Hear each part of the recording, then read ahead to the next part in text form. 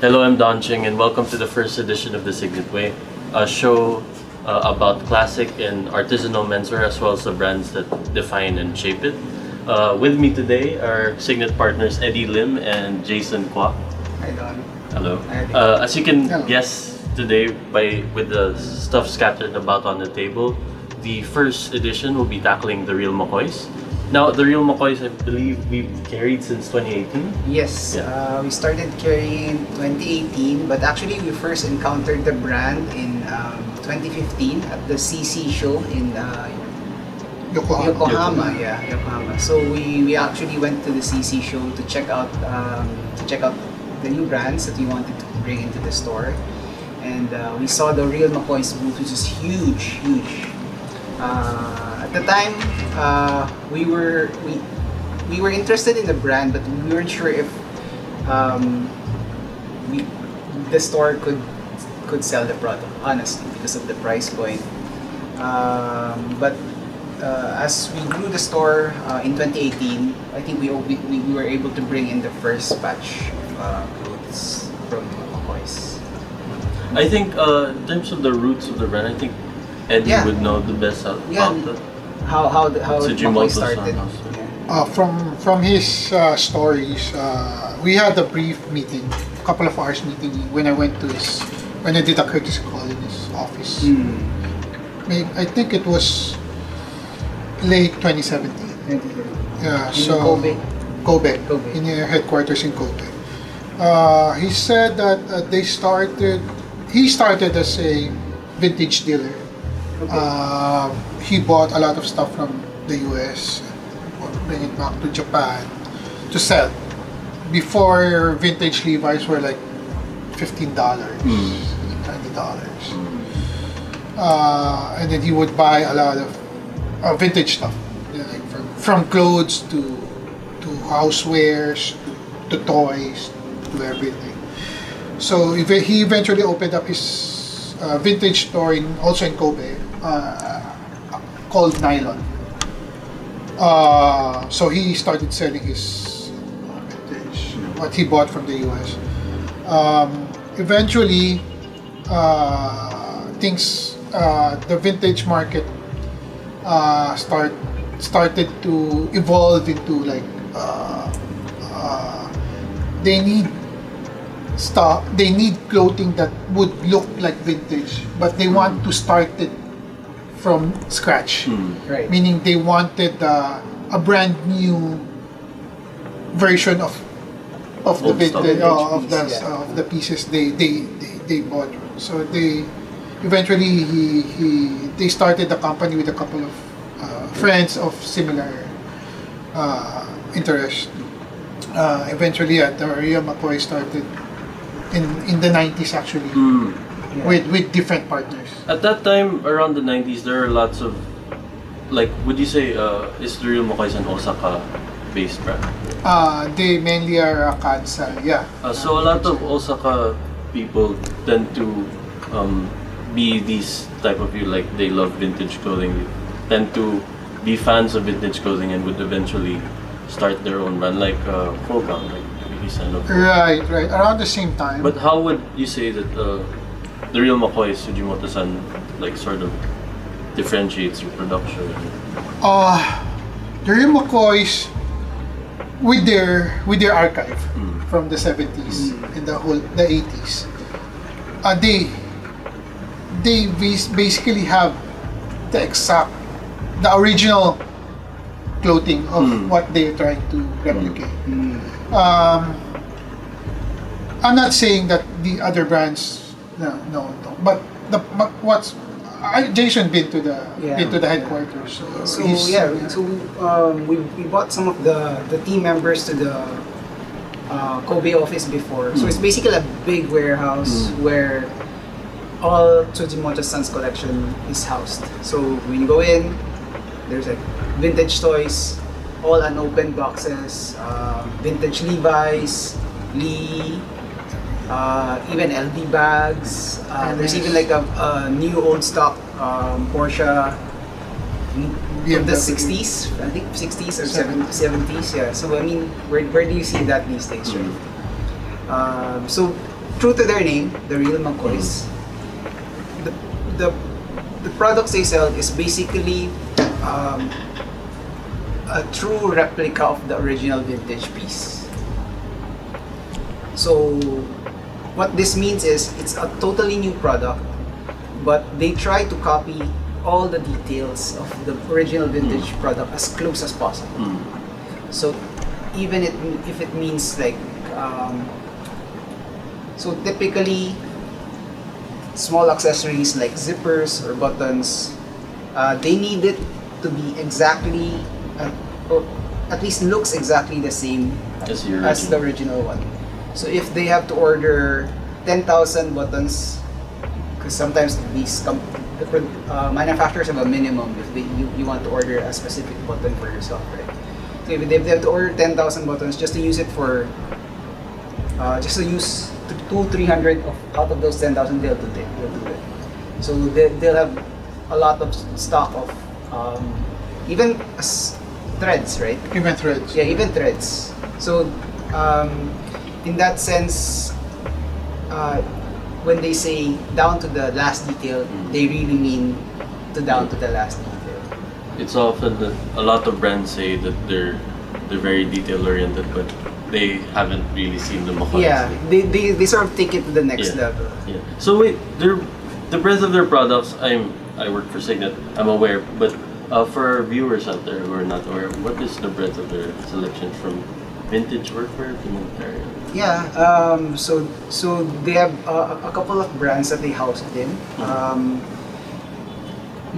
the, the, the, the one uh, the, the one they, that they really push initially was military, right? Mm.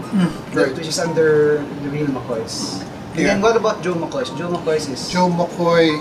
Joe McCoy actually is a is a is a brand from Illinois that they had that that they had some of the items from the archive from from buying vintage from before. So they they tried to they how do you call it?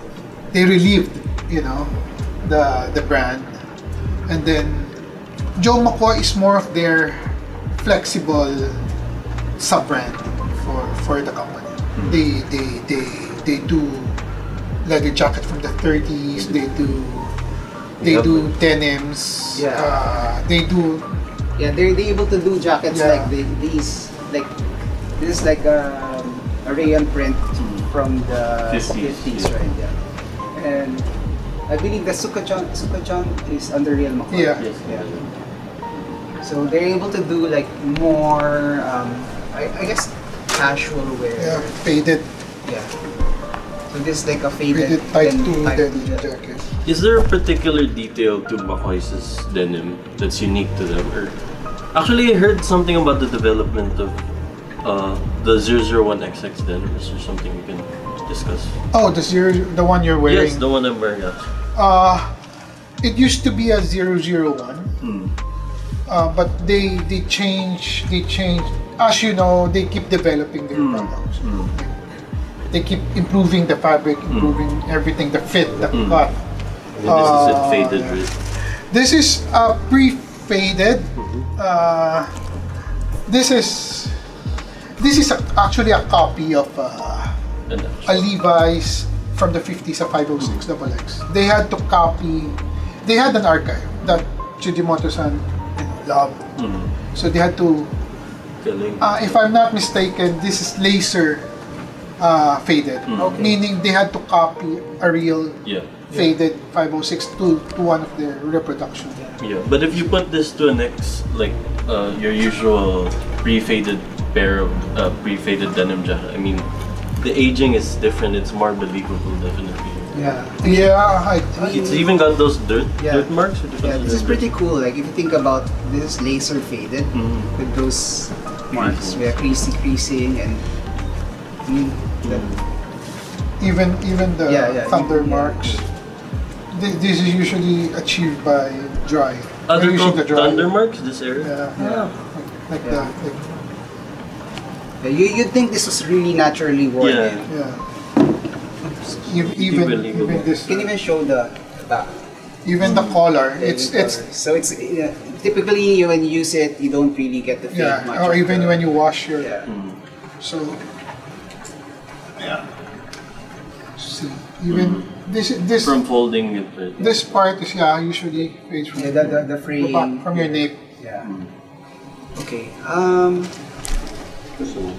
one thing that McCoy's is also known for is it's it's it's uh, A2 jackets. Oh, yeah. The one behind Edie.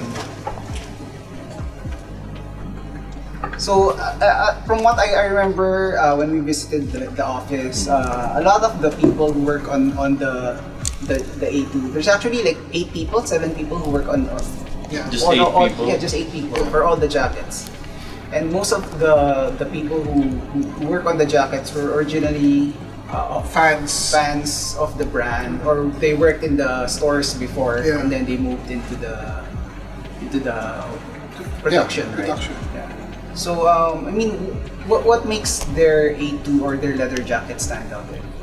again, uh, it's it's the archive that Tsujimoto has. They they they copied. They even they even had their own leather, especially copied by Shinki Hikaku from Hi- Himeji, to copy the exact not not of course not exact, but at least the dyeing method, the the thickness, how it will age, uh, even the color.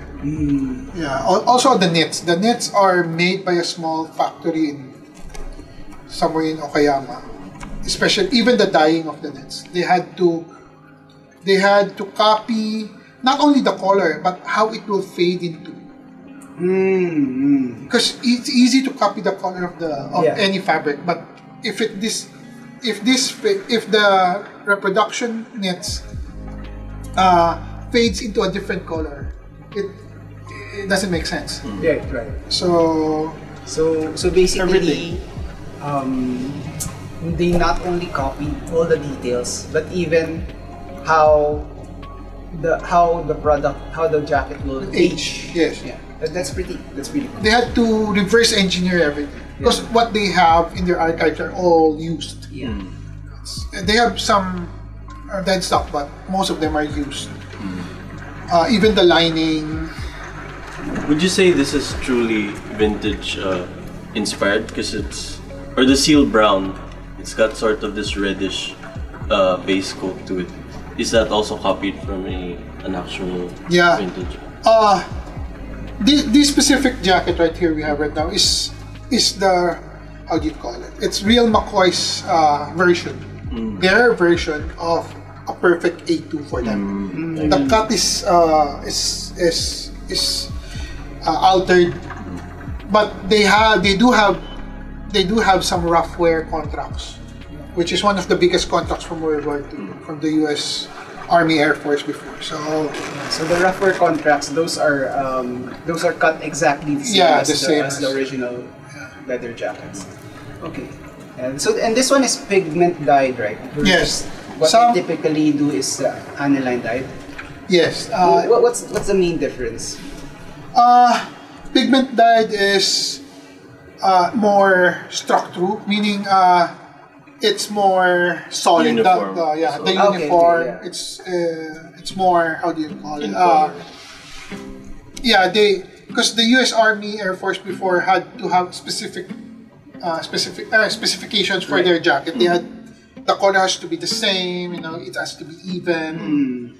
Uh, they even have. They also have those aniline dyes, dyed jackets, A2s, or even other model jackets that uh, they, they, they, they did that because some of the some of the uh, so the army uh, soldiers who were wearing these or the pilots who were wearing these um, they had to retie some of their faded jackets Right, right, right. to well, you know, Yeah, to, they, to, to extend the Oh, life. uh, Yeah. you know, to, to extend the life and to make it look nice so they they use aniline dyes so they had to, you know Mm. So that's why that's And- why they use aniline dye for some. So and then sometimes they had to recycle the jackets. Right. Uh, they had to issue ja- old from their from the warehouse from the stocks, Mm. and then some would would be you know old and they would you know they, they had to re-dye so they had to And this leather, it's uh, horsehide. Yeah, it's horsehide Horse side. from Shinki Hikaku. Uh, Is it true that they use genuine, genuine working horses for the? Yes, they use they use hides from Poland, uh, wild horses, uh, working horses. Not uh, well. Typically, horse hides are, are they, they they can't kill a horse. Mm, Yeah, Uh, So for for That's a Yeah. die of natural causes. Yeah, Yeah, yeah, it, it has to die natural- of natural natural causes, which makes it harder now because there's not a lot of people who have horses. Mm. It's yeah. not like before where uh, horses were a common thing. Yeah. In, in, there there are there are a lot of countries that still use horses. Uh, China, for instance, one one country that uses still uses horse hides for their jackets in China until now. So they had their they have their own, but but the problem with with horses from from China or they, they had uh, the ones from Poland are thicker because it's colder. yeah. Okay, that makes sense. Uh, And it explains the, the the natural sort of greening, right? Are these whip marks or wrinkles uh, from the horse? Yeah, they usually are wrinkles. They're not sure. They usually are wrinkles. So maybe this is used from front quarter, from from the chest of the horse and belly. The one that I think they use from the spine or, or the back, they don't usually use much of the back from the back of the horse. Yeah. These are usually front quarter, Yeah. like from the front, because it's uh it's thinner Yeah. and it. They use other part for the for the for the for, the back. back quarters. For- yeah. for- I, for I, the I think I read somewhere where they use um, the toughest part of the horse for the elbows. Uh, they they would cut they would cut the this these these are they would cut they would cut the hide uh, they, uh, they would choose the hide that's that's that's more how do you call it has a tighter grain Okay, for yeah. this part. For, for, specific yeah areas. for specific areas. Also the the collar mm-hmm. yeah. So but for the body they would typically use the front quarter Front quarters. front yeah.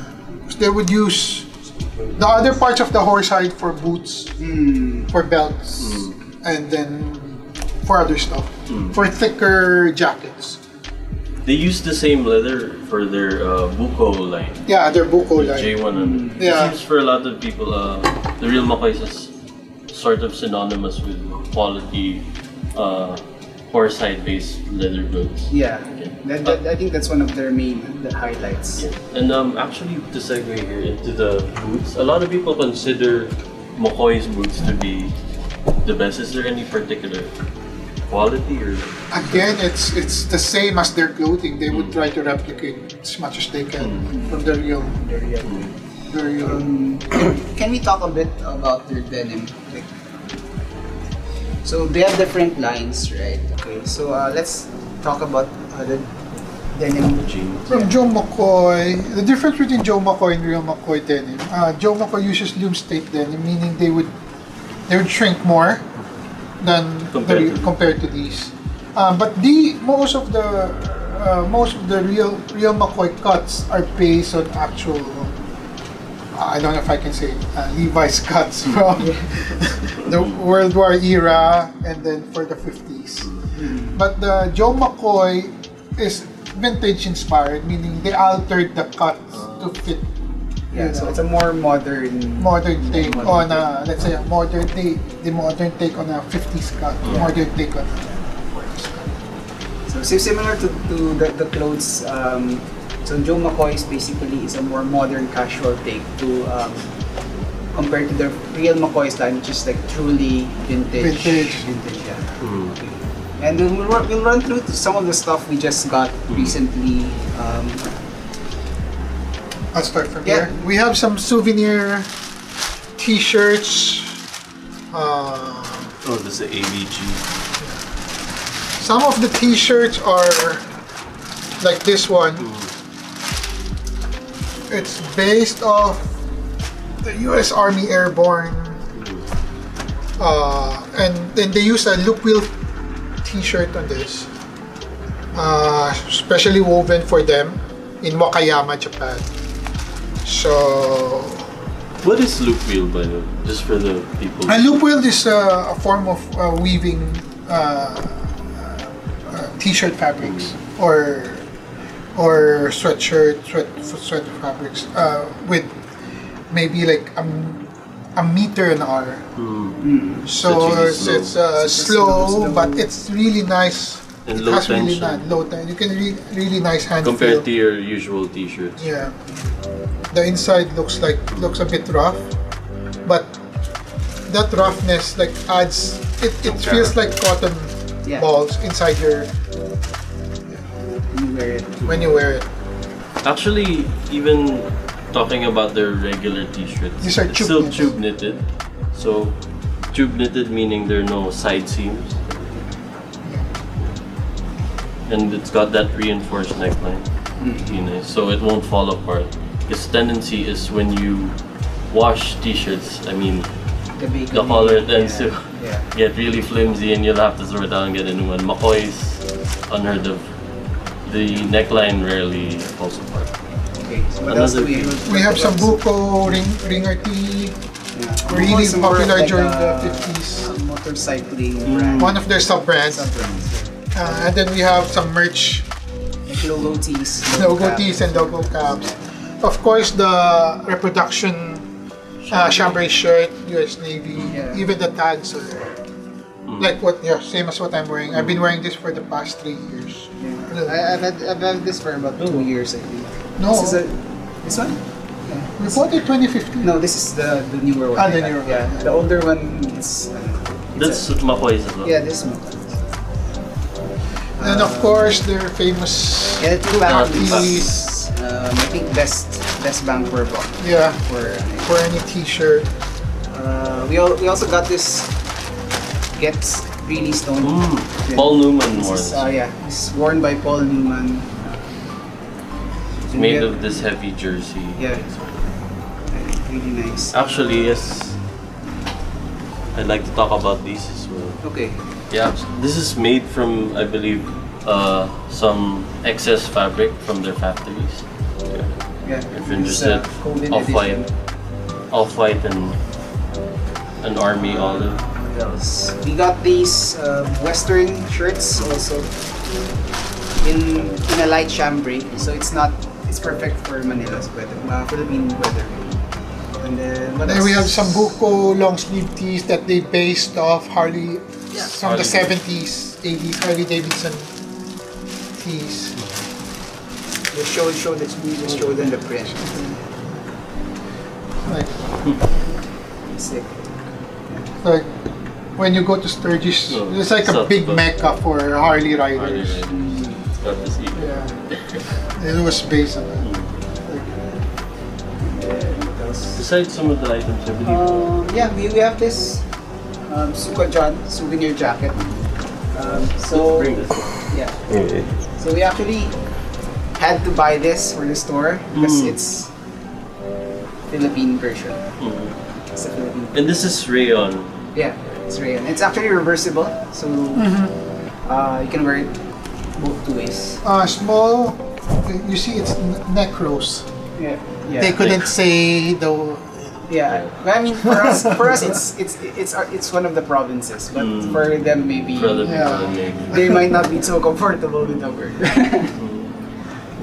what else? Uh, we also have this fly, um, flying tigers jacket.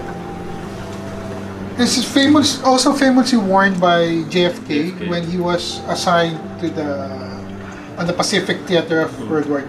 Yeah, When he was like uh, under the U.S. Navy. and this one uh, was worn by Jack Nicholson. Jack Nicholson, right? Before He would wear this. the original one. Mm. Yeah, I believe even the lining here, Yeah. they replicated that particular shade of pink. Yeah, they dyed it just to cut. They dyed. They had to diet just to get the vintage looking. Mm. So yeah, I think that about sums it up. I mean, if you're interested, I'd like to thank Edie and Jason for sharing. And if you're interested, um, you can find all of our McCoy stuff at Power Plant Mall. You can visit us at thesignetstore.com. Thanks Thank for you. watching. Thank you. Okay, yeah, that's good.